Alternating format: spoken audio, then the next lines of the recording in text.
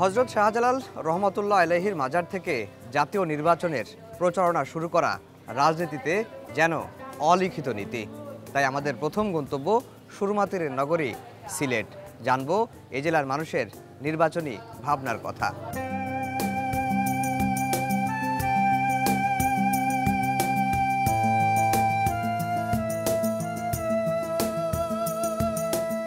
নির্বাচন যত ঘনিয়ে আসছে ততই জমজমাট হয়ে উঠছে ভোটের আড্ডা।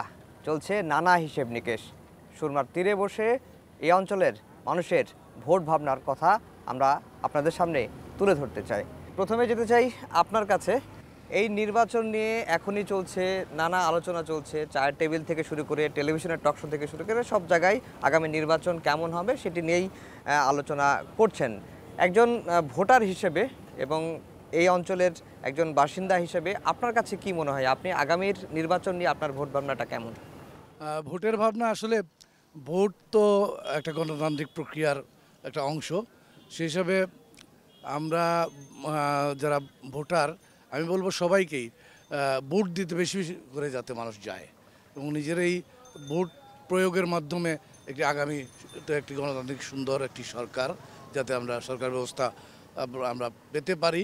বা আমি হয়তো ব্যক্তিগতভাবে আমার একটা অভিমত আছে কিন্তু সেটা আমি এই মুহূর্তে ব্যক্ত নাই বা করলাম। কিন্তু ইন জেনারেল বলতে চাই আর কি যে সবাইকে ভোট কেন্দ্রে যাওয়ার জন্য আমি বলব।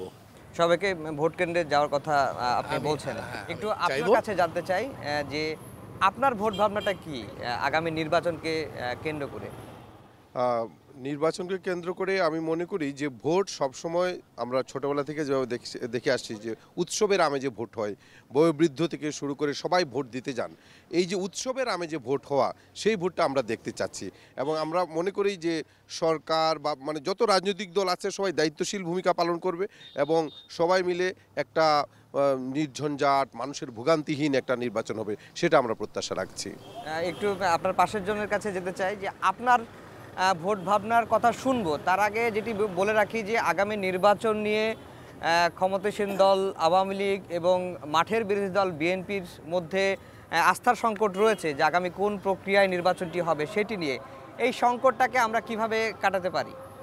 আমার ভাবনা, যেহেতু আওয়ামী লীগ এবং বিএনপি দুটো দলই দেশের প্রধান, বর্তমানে আওয়ামী লীগ সরকার ক্ষমতায় আছেন, আমার নিজস্ব ভাবনা থেকে আমি চাই জনগণের সম্পৃক্ততা এবং স্বতঃস্ফূর্তভাবে যাতে সকল দলের অংশগ্রহণে যাতে জনগণ নির্বিঘ্নে তাদের ভোটাধিকার প্রয়োগ করতে পারে, সেই একটা পরিবেশ, সেরকম একটা পরিবেশ সৃষ্টি হোক।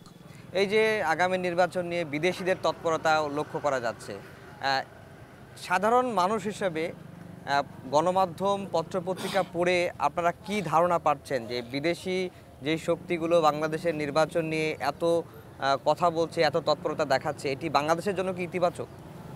না অবশ্যই এটাই বাংলাদেশের জন্য ইতিবাচক নয়। আমাদের নির্বাচন করব আমাদের দেশের চিন্তা আমাদের দায়িত্বশীল ব্যক্তিরা আছেন দুদলই দায়িত্বশীল জনগণের জন্য তারাই কাজ করছেন। অতএব আমাদের নির্বাচন আমাদের মতো করে করাটাই আমি মনে করি। বিদেশিদের হস্তক্ষেপ এটা আমাদের আভ্যন্তরীণ ব্যাপারে বিদেশিদের হস্তক্ষেপ কোনোভাবেই কাম্য নয়। জি আপনাকে ধন্যবাদ। আপনার আরও কয়েকজনের বক্তব্য আমরা নিতে চাই।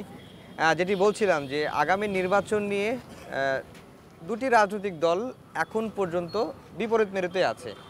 আপনি কোনো এক দলের সমর্থক হতে পারেন। কিন্তু এই যে সংকটটা, কেউ মনে করছে সংকট, কেউ মনে করছে সংকট না। কিন্তু সাধারণ জনগণ মনে করে যে কিছু একটা সংকট আছে আগামী নির্বাচন নিয়ে এবং কেউ বলছেন যে আগামী নির্বাচনকে কেন্দ্র করে একটি ঝড়েরও পূর্বাভাস অনেকেই কথা বলছেন। আপনার কাছে কি মনে হয় যেটি আসলে সংকট? আর যদি সংকট হয়ে থাকে তাহলে সমাধানের উপায়টা কি? ধন্যবাদ। আফজল সাহেব আপনাকে আজকে একটি সুন্দর পরিবেশে আমাদেরকে সুযোগ দিয়েছেন। আসলে বুট হচ্ছে গণতান্ত্রিক অধিকার এবং আমাদের দেশে একটি সাংবিধানিক অধিকার হচ্ছে সরকার হচ্ছে প্রতি পাঁচ বৎসর পর পর একটি নির্বাচন হবে এবং সেই নির্বাচনে দেশের জনগণ অংশগ্রহণ করবে। আমি মনে করি যে আগামী যে ডিসেম্বর অথবা জানুয়ারি মাসে যে নির্বাচন হবে, সেই নির্বাচন আমাদের দেশে একটি উৎসব মুখর পরিবেশেই হবে।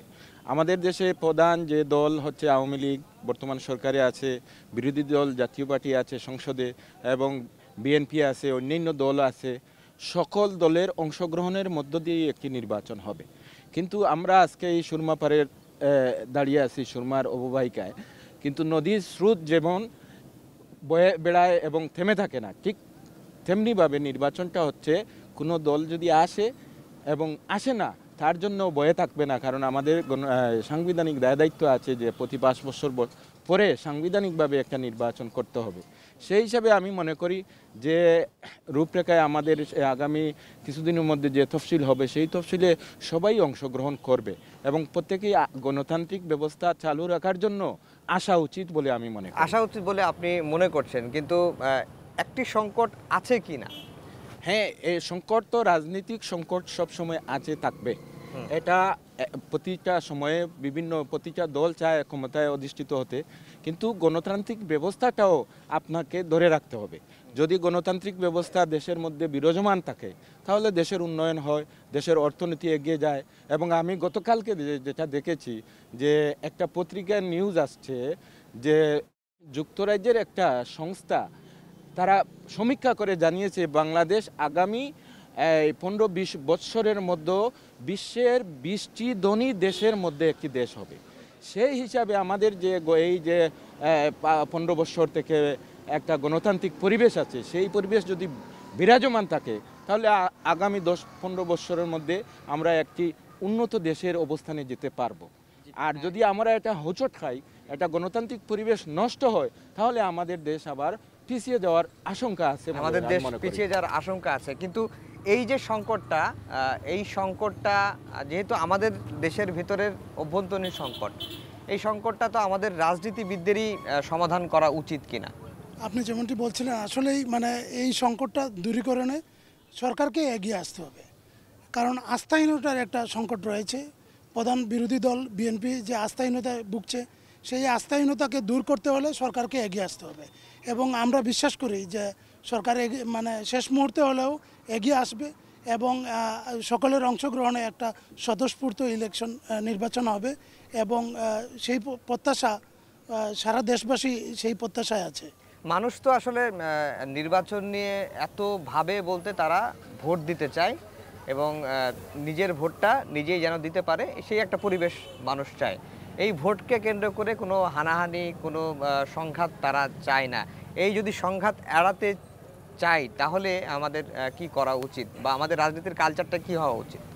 সংঘাত এড়িয়ে চলা তো আমাদের জন্য খুব দরকার এবং এই সংঘাত এড়িয়ে চলতে হলে আমাদের প্রত্যেকটা দলের মানে অংশগ্রহণের নির্বাচন আসতে হবে এবং সকলের অংশগ্রহণের নির্বাচন আসতে গেলে সরকারকে এগিয়ে আসতে হবে। আস্থাহীনতা আমি আগেই যেটা বলছিলাম যে আস্থাহীনতা আছে, সেই আস্থাহীনতা দূর করতে হবে। দূর করতে হলে তবে বিরোধী দল আসবে এবং একটা পরিবেশ তৈরি হবে এবং সংঘাতবিহীন একটা নির্বাচন আমরা পাবো।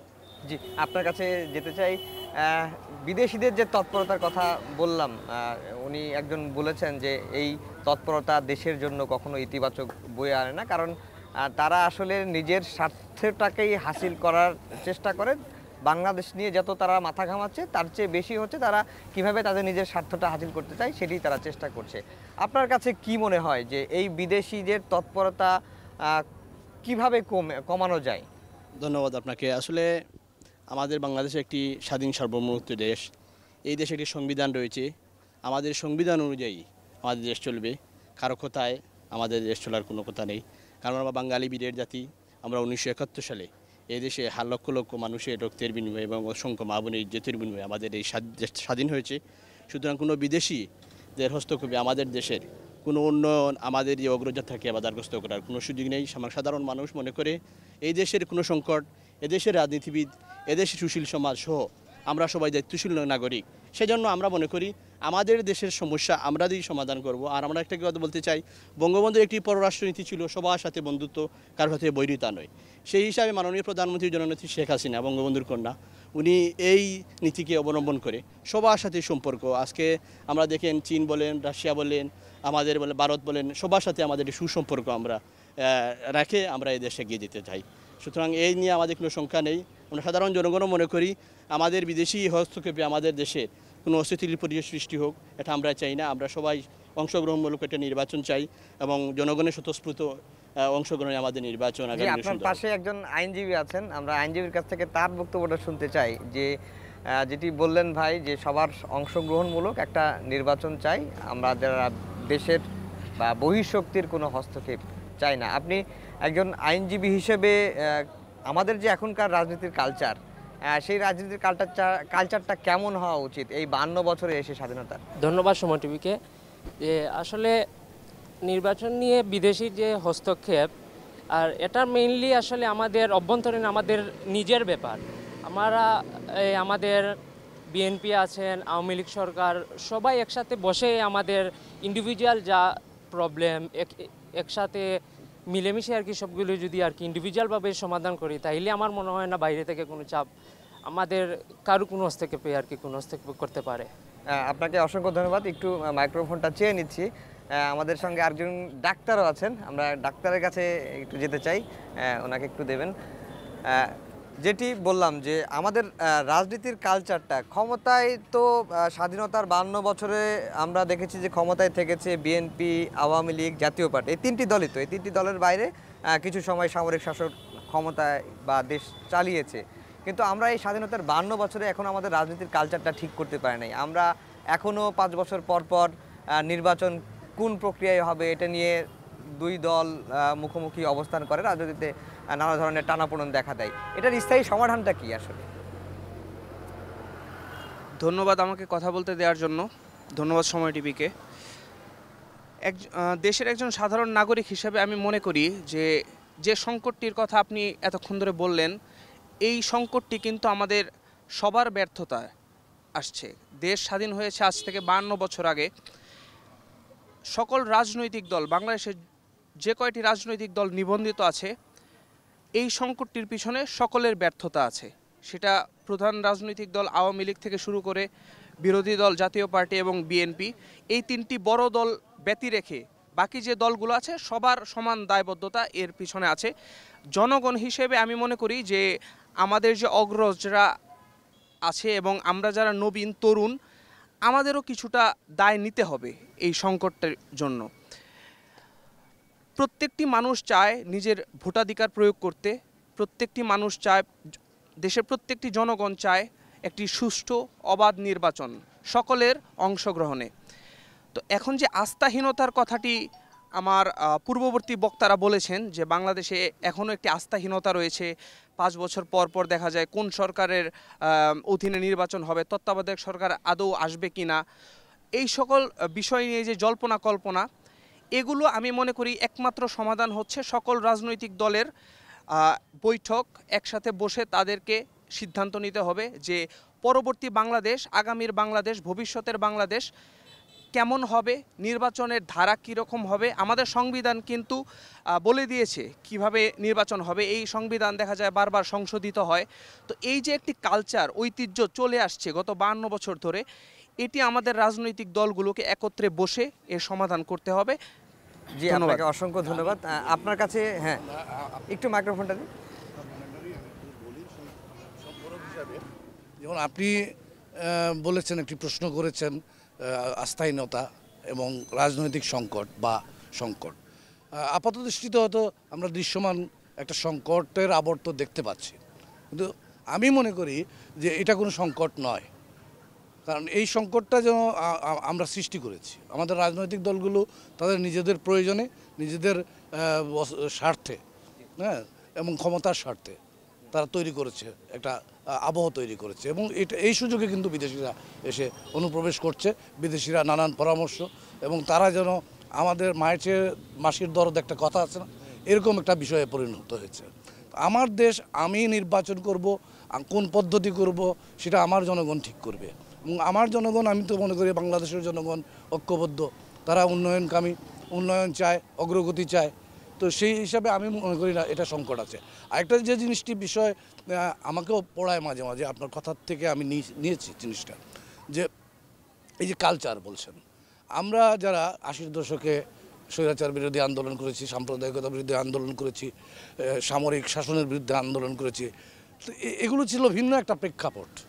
তার আগে আমাদের পূর্ববর্তী প্রজন্ম, যেমন উপনিবেশক শাসকদের বিরুদ্ধে যেভাবে আন্দোলন করেছেন, সংগ্রাম করেছেন, একই ধারাবাহিকতায় তো এই এই স্বাধীন দেশে, এই এই পরিবেশে এসে, অন্তত নব্বইয়ের পরে আমি মনে করি যে এরকম হওয়া উচিত নয়।